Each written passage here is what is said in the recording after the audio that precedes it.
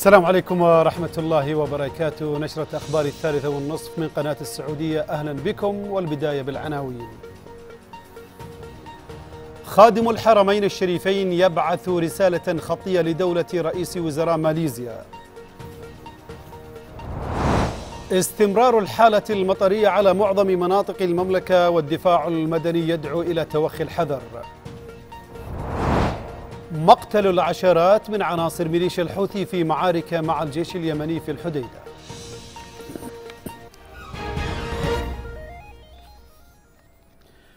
أهلا بكم. بعث خادم الحرمين الشريفين الملك سلمان بن عبد العزيز آل سعود حفظه الله رسالة خطية إلى دولة رئيس وزراء ماليزيا الدكتور مهاتير محمد وقام بتسليم الرسالة صاحب السمو الملكي الأمير تركي بن محمد بن فهد بن عبد العزيز المستشار بالديوان الملكي خلال استقبال دولته له اليوم بمكتبه في بوترا جايا. ونقل السمو لدولة رئيس الوزراء الماليزي تحيات خادم الحرمين الشريفين والسمو ولي العهد. كما تم خلال الاستقبال بحث العلاقات الثنائية مؤكدا سمو حرص خادم الحرمين الشريفين وسمو ولي العهد على تطوير العلاقات بين البلدين في جميع المجالات التي تحقق المصالح المشتركة للبلدين والشعبين الشقيقين.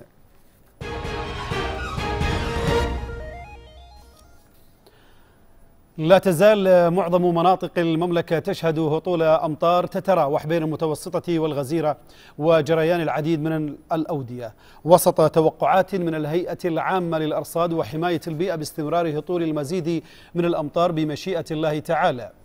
تقرير الهيئة أشار إلى هطول أمطار رعدية من متوسطة إلى غزيرة تصحب بزخات البرد ورياح نشطة على مناطق جازان عسير الباحة مكة المكرمة المدينة المنورة حائل القصيم الشرقية الرياض وادي الدواسر. مع انخفاض في درجات الحرارة على شمال المملكة.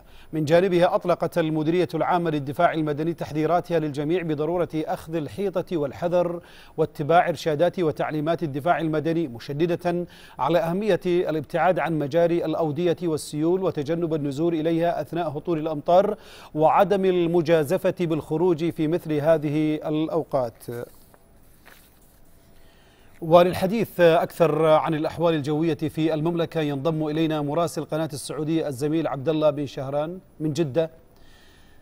آه، زميل عبد الله حدثنا أكثر عن الأحوال المناخية لديكم. أهلا وسهلا فيك زميلي سلمان المالكي. أنا متواجد الآن في غرفة العمليات بالهيئة العامة للأرصاد وحماية البيئة لنكون مطلعين أكثر على الحالة المدارية التي تشهدها المملكة خلال الأيام الحالية. يقف بجانبي الدكتور أيمن غلام نائب رئيس الهيئة العامة للأرصاد وحماية البيئة ليطلعنا أكثر عن الحالة المدارية التي تشهدها معظم مدن المملكة ومحافظاتها. السلام عليكم دكتور. عليكم السلام ورحمة الله وبركاته. نرحب الحقيقة بقناتنا العزيزة السعودية الأولى في غرفة الطوارئ بالهيئة العامة للأرصاد وحماية البيئة. دكتور. يا ليت لو تطلعنا أكثر عن الحالة المدارية التي تشهدها المملكة. نعم هو الحقيقة تكونت السحب من قبل يوم أمس على المنطقة الشرقية هطلت منها أمطار غزيرة.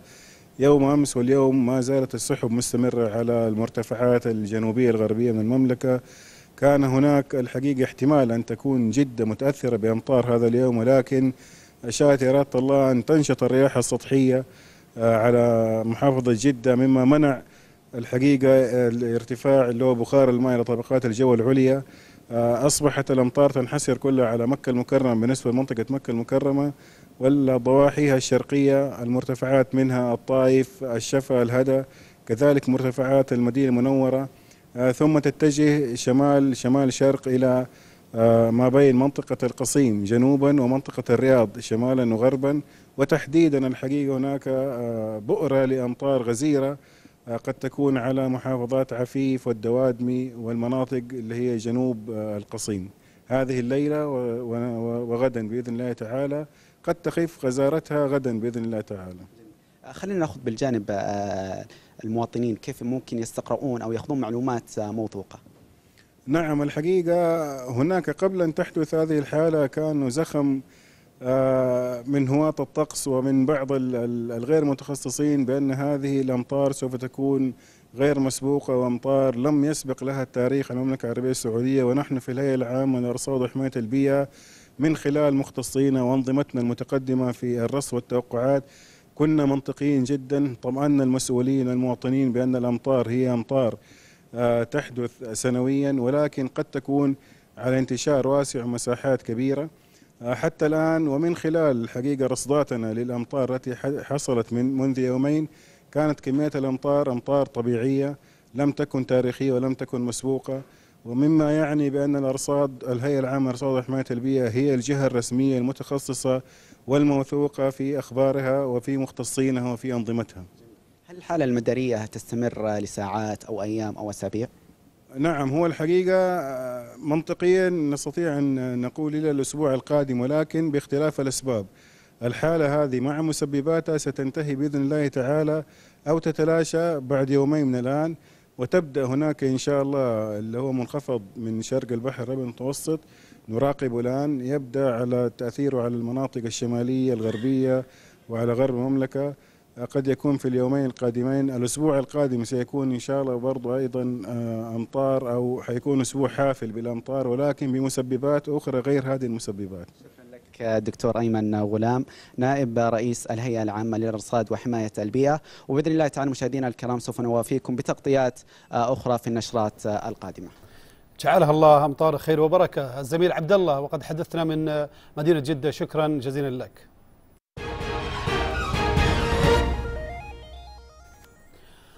التقى صاحب السمو الملكي الأمير خالد الفيصل المستشار وخادم الحرمين الشريفين أمير منطقة مكة المكرمة وصاحب السمو الملكي الأمير عبد الله بن بندر بن عبد العزيز نائب أمير منطقة مكة المكرمة مدير عام الدفاع المدني بالمنطقة اللواء سالم المطرفي.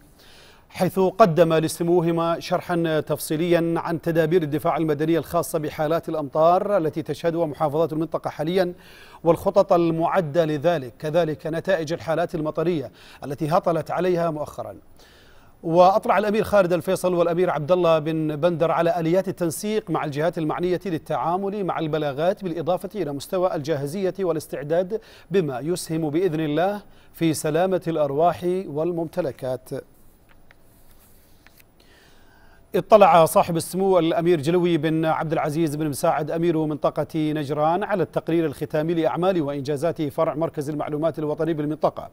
جاء ذلك خلال لقائه بالإمارة أمس الرائد عبد الهادي بن قعوان حيث قدم لسموه التقرير السنوي للمركز ونسخة من الدورية ربع السنوية تحت عنوان سمات. وأشاد أمير المنطقة بالخدمات التي يقدمها مركز المعلومات الوطني للمرابطين على الحد الجنوبي في الميدان بالتنسيق والتكامل مع الأحوال المدنية. كما استقبل سمو أمير منطقة نجران اليوم قائد قوة أمر المنشآت بالمنطقة العميد إبراهيم الدوسري الذي قدم الخطة الجديدة لقوات أمر المنشآت بالمنطقة وفق التوسع الصناعي والمدني التي تقوم على تعزيز حماية وأمن المنشآت الحيوية. واستعرض سمو خلال اللقاء تفاصيل الخطة والدعم الذي حظيت به القوة من الطاقات البشرية والآلية. زار صاحب السمو الملكي الأمير الدكتور فيصل بن مشعل بن سعود بن عبد العزيز أمير منطقة القصيم مريض السمنة وداء الفيل المواطن يحيى الذي يرقد حاليا في المستشفى المركزي بمدينة بريدة للوقوف على حالته العلاجية والنظر إليها. ووجه سموه الشؤون الصحية بالمنطقة بتوفير العلاج المناسب له بأسرع وقت ممكن، مؤكدا أن جميع القطاعات الحكومية بما فيها قطاع الصحة تعمل على كل ما من شأنه توفير متطلبات الحياة السوية والسليمة والصحية لكل شخص يعيش فوق تراب هذا الوطن مشيدا سموه بما شاهده من عناية ومتابعة من قبل منسوبي القطاع الصحي بالمنطقة. من جهة أخرى استقبل صاحب السمو الملكي الأمير الدكتور فيصل بن مشعل بن سعود بن عبد العزيز أمير منطقة القصيم رئيس مجلس التنمية السياحية بالمنطقة اليوم محافظة عنيزة رئيس لجنة التنمية السياحية بالمحافظة عبد الرحمن السليم. وأمين لجنة التنمية السياحية بالمحافظة يوسف الوهيب والمدير التنفيذي لشركة راما شمس خالد اليحيى المشغل لمهرجان الغضاء السادس عشر. وأشاد سموه بما قدموه من جهود في مهرجان الغضاء السادس عشر مؤكدا على أهمية أن تضم الأنشطة السياحية بالمنطقة أنشطة هادفة تناسب جميع أفراد الأسرة وفق عاداتنا وقيمنا. وقد تسلم سمو أمير منطقة القصيم خلال الاستقبال التقرير الختامي لمهرجان الغضا السادس عشر. كما أشاد سمو الأمير الدكتور فيصل بن مشعل بن سعود بالدور الاجتماعي والرياضي الذي يقوم به فريق دراج عنيزة التطوعي وجهودهم في هذا المجال ودعمهم المشروعات الخيرية ودعم الشباب تماشيا مع رؤية المملكة 2030 جاء ذلك خلال استقبال سموه اليوم رئيس فريق دراج عنيزة الدكتور خالد الشبل وأعضاء الفريق بمناسبة تحقيق فريق دراجي السعودية المركز الأول حول المبادرة العالمية للدراجات الهوائية لدعم المشروعات الخيرية حيث كان من ضمن فرقها فريق دراج عنيزة التابع للجمعية الصالحية بعنيزة. استقبل صاحب السمو الملكي الأمير الدكتور حسام بن سعود بن عبد العزيز أمير منطقة الباحة اليوم مدير عام فرع وزارة البيئة والمياه والزراعة بالمنطقة المهندس سعيد الغامدي ومدير مكتب الهيئة السعودية للحياة الفطرية بالمنطقة محمد الزهراني ومدير إدارة التنوع الحيوي بفرع الوزارة محمد القدوة. واستمع سموه خلال اللقاء إلى شرح مفصل عن مواقع تواجد النمر العربي وأعمال الفرع والوزارة في الحفاظ على تواجده لما يحققه من إيجاد توازن بيئي. كما اطلع سموه على بعض الأمور التي تخص الحياة الفطرية بالمنطقة. ونوه سموه بجهود الهيئة في الحفاظ على الحياة الفطرية للمحافظة على بقاء الحيوانات المهددة بالانقراض من خلال مراكز أبحاث الحياة الفطرية بالمملكة. التقى صاحب السمو الملكي الأمير فيصل بن خالد بن سلطان بن عبد العزيز أمير منطقة الحدود الشمالية اليوم رئيس مجلس إدارة الجمعية الخيرية للتوعية بأضرار التدخين والمخدرات الدكتور رضا العنزي. وأعضاء المجلس وتسلم سمو خلال اللقاء التقرير السنوي لبرامج وأنشطة الجمعية. وثمن أمير المنطقة جهود الجمعية في سبيل الحد من انتشار ظاهرة التدخين من خلال الطرق التوعوية والعلاجية ونشر ثقافة الاهتمام بالصحة حاثا الجمعية لبذل المزيد من العطاء من أجل تعزيز صحة المجتمع والتصدي لآفة التدخين متمنيا للقائمين عليها التوفيق والنجاح. كما التقى أمير منطقة الحدود الشمالية بمكتبه في الإمارة اليوم مدير مكتب الهيئة العامة للرياضة بالمنطقة آه، خميس العنزي يرافقه أعضاء فريق عرعر رايدرز للدراجات النارية. وجرى خلال اللقاء مناقشة عدد من الموضوعات الرياضية. وأكد سمو ضرورة تهيئة الأماكن الآمنة للشباب لممارسة هوايتهم تحت إدارة الاتحاد السعودي للسيارات والدراجات النارية.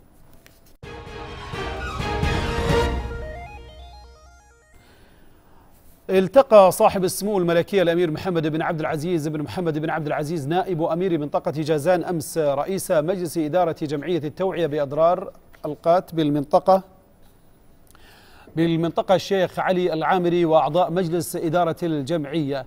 واستهل السمو اللقاء بكلمة ثمن فيها ما تقوم به الجمعية من نشاطات وبرامج تقع في إطار عملها منوها بالجهود المبذولة من قبل الأعضاء. وتسلم السمو خلال اللقاء التقرير السنوي للجمعية للعام الماضي مستمعا لشرح مفصل عن الأعمال والإنجازات التي حققتها خلال الفترة الماضية والخطط والآليات التي تعمل من خلالها والبرامج التي نفذتها والتي تعتزم تنفيذها سعيا لتقديم كل ما يخدم الصالح العام. من جهة ثانية دشن نائب أمير منطقة جازان إلكترونيا عمل مكتب الأحوال المدنية بمحافظة العارضة. جاء ذلك خلال لقائه مدير عام الأحوال المدنية بجازان بندر بن مشيط. واستمع السمو إلى شرح مفصل عن آلية إنشاء وتجهيز فرع المكتب وما يتضمنه من خدمات وأقسام تعمل لتنفيذ كافة الخدمات المراجعين بكل يسر وسهولة. وحث الأمير محمد بن عبد العزيز منسوبي الأحوال المدنية على بذل المزيد من الجد والمثابرة في العمل لتلبية تطلعات القيادة الرشيدة بما يلبي احتياجات المواطنين. التقى صاحب السمو الملكي الأمير أحمد بن فهد بن سلمان بن عبد العزيز نائب أمير المنطقة الشرقية أمس مدير عام المؤسسة العامة لجسر الملك فهد المهندس فهد الداود واطلع السمو على أبرز المشاريع التي تنفذها المؤسسة والخدمات التي توفرها عبر الجسر. مشيدا بما يحظى به جسر الملك فهد من اهتمام من حكومتنا الرشيدة من خلال توفير الخدمات المتكاملة والتوجيهات والمتابعة المستمرة لبذل المزيد من الجهود لتقديم أفضل الخدمات للمسافرين عبر تلك المنافذ موجها ببذل المزيد من الجهد لتقديم أرقى الخدمات وأفضلها للمسافرين عبر الجسر. استقبل صاحب السمو الملكي الأمير عبد الله بن بندر بن عبد العزيز نائب أمير منطقة مكة المكرمة رئيس مجلس إدارة مجموعة شركات محمد عبد الله شربتلي المحدودة. محمد شربتلي. وناقش الأمير عبد الله بن بندر خلال اللقاء مساهمة القطاع الخاص مع الحكومي لتنفيذ مشاريع التنمية بالمنطقة.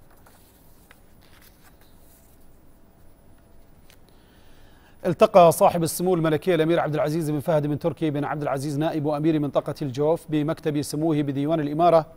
عضو هيئة كبار العلماء الدكتور جبريل البصيلي وأكد سموه خلال اللقاء على أهمية دور العلماء والدعاء في التصدي للأفكار الضالة والهدامة وحماية الوطن من كل من يحاول المساس بحدود وأمن بلاد الحرمين الشريفين والعمل على استقرارها وخدمتها. كما استقبل صاحب السمو الملكي الأمير عبد العزيز بن فهد بن تركي بن عبد العزيز نائب امير منطقة الجوف بمكتب سموه بديوان الإمارة. مدير عام فرع وزارة البيئة والمياه والزراعة بالمنطقة المهندس عبد الله الأحمري. واستعرض سموه خلال الاستقبال سير العمل في الفرع والمشاريع الجاري تنفيذها. التقى معالي وزير الإعلام الدكتور عواد العواد بالرياض أمس رؤساء تحرير الصحف المحلية وذلك ضمن الاجتماعات الدورية. وجرى خلال اللقاء مناقشة المستجدات الراهنة ودور الصحافة تجاهها كما تم بحث المشاريع والمبادرات الإعلامية التي تقدمها الوزارة دعما للصحافة والصحفيين. نشرتنا مستمرة وفيها بعد الفاصل. أجواء المنطقة الشرقية الممطرة تجذب الأسر للمتنزهات البرية والشواطئ.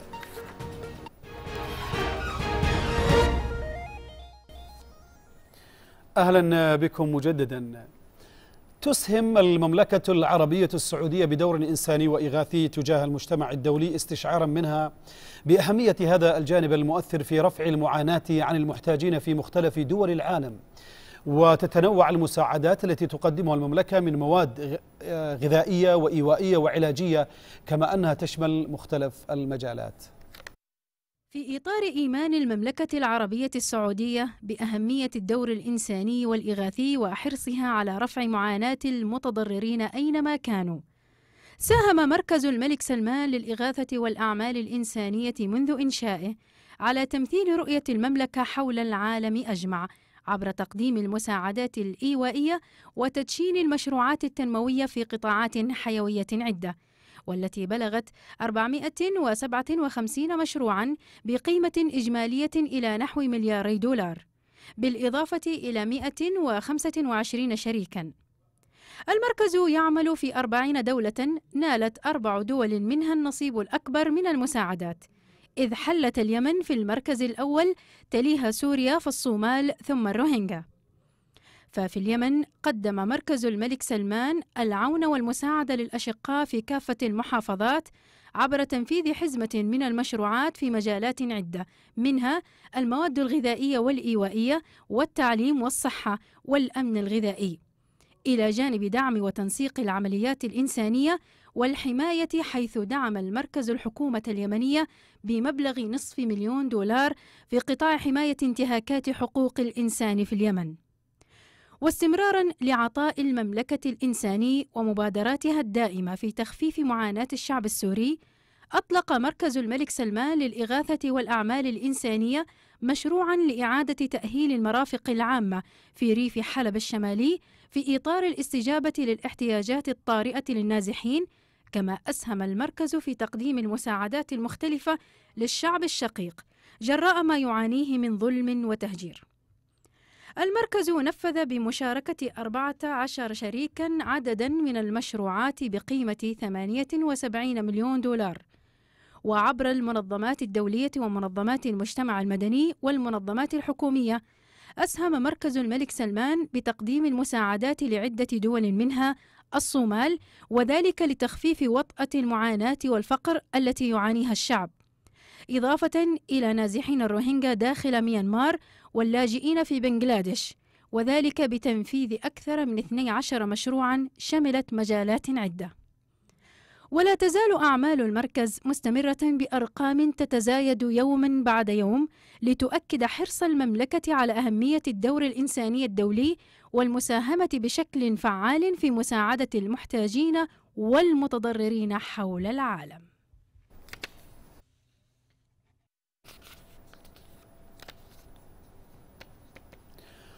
قتل وأصيب العشرات من ميليشيا الحوثي الانقلابية المدعومة من إيران في مواجهات مع الجيش اليمني شهدتها منطقة كيلو عشرة بشرقي مدينة الحديدة.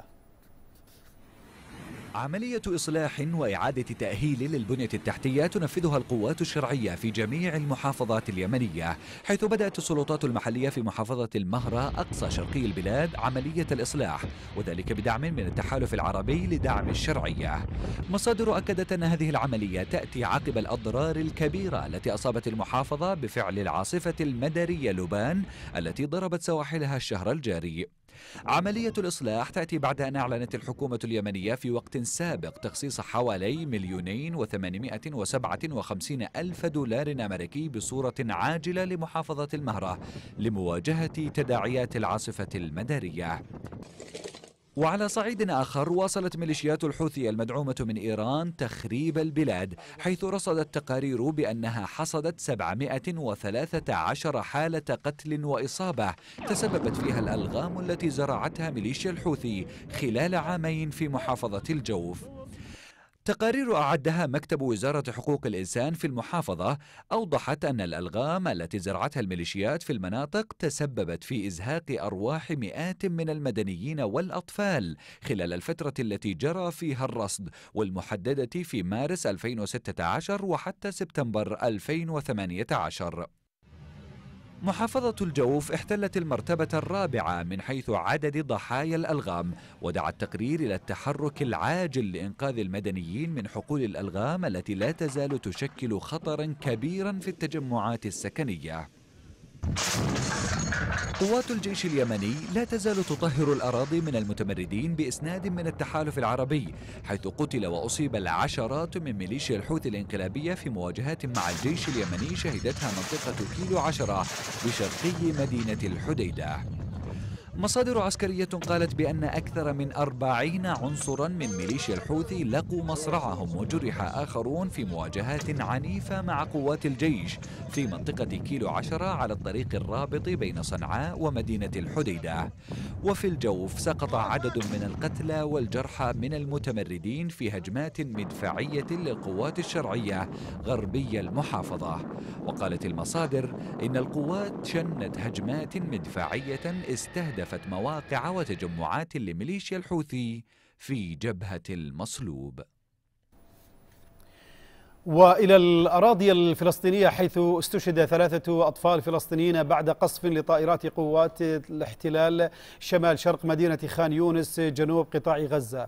مصدر أمني أعلن أن الأطفال تتراوح أعمارهم ما بين 12 إلى 14 عاما حيث تم انتشال جثثهم ونقلها إلى مستشفى شهداء الأقصى في مدينة دير البلح وسط القطاع. من جانب آخر شن الجيش الإسرائيلي حملة مداهمات واعتقالات طالت 26 فلسطينيا في الضفة الغربية والقدس المحتلة.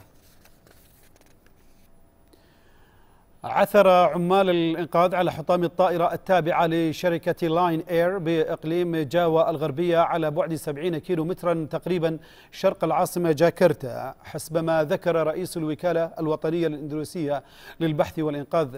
وأضاف أنه من المعتقد أن جسم الطائرة موجود في قاع البحر على عمق نحو 35 مترا مبينا أن الطائرة كانت تحمل 181 راكبا. من بينهم رضيع وطفلان إضافة إلى طاقم من سبعة أفراد. وأظهرت صور على تويتر قطعا يعتقد أنها من حطام الطائرة. وتعتبر شركة لاين إير أكبر شركة طيران منخفض التكلفة في إندونيسيا.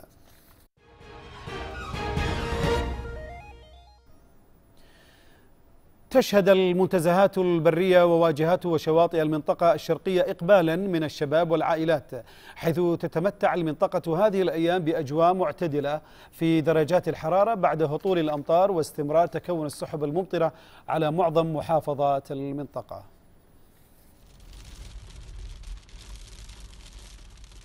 بعد هطول الأمطار واعتدال الأجواء في المنطقة الشرقية أماكن التنزه البرية والواجهات البحرية والشواطئ. تشهد هذه الأيام إقبالا كبيرا من الشباب والعائلات الذين يستمتعون بالأجواء كل على طريقته الخاصة. هذه على فكرة هذه فكرة مني. يعني قلت لهم قوموا خلينا نشوف الاجواء الحلوة صراحة لأن يعني نبغى نغير جو البيت تعرف صار فترة طويلة إحنا قاعدين في البيوت ما في إلا الشاشات ولا البيوت فقلنا خلينا نغير شوي من برا نشوف الهواء نشوف البحر نشوف شيء يعني. المنطقة الشرقية تمتاز بواجهاتها البحرية والشواطئ التي تمتد على مساحات شاسعة والمهيئة بالخدمات لاستقبال الأهالي وزوار المنطقة. والله النفوس ارتاحت حتى النفس مرتاحة على خير اللي جاء للمملكة عام إن شاء الله. هو يعني شوف أغلب الشعب الحين طالعين عوائل أغلب الناس. بعد ال- الصيف اللي كان ما حابس الناس ورطوبة الحين اختلاف الأجواء صار في نسبة هواء الناس تقدر تتحرك تطلع تاخذ راحتها شوي. الأجواء هذه الأيام بالمنطقة الشرقية لها طابع خاص حيث تتمتع بأجواء تكون فيها درجات الحرارة معتدلة إضافة إلى تكون السحب الممطرة منذ ساعات الصباح الأولى على معظم محافظات ومدن المنطقة. علي الشهري الدمام.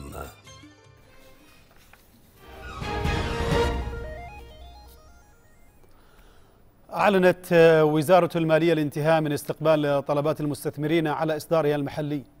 تحت برنامج صكوك حكومة المملكة بالريال السعودي وتم تحديد حجم الإصدار بمبلغ إجمالي قدره ثلاثة مليارات ومئتين وخمسين مليون ريال مقسمة إلى ثلاث شرائح.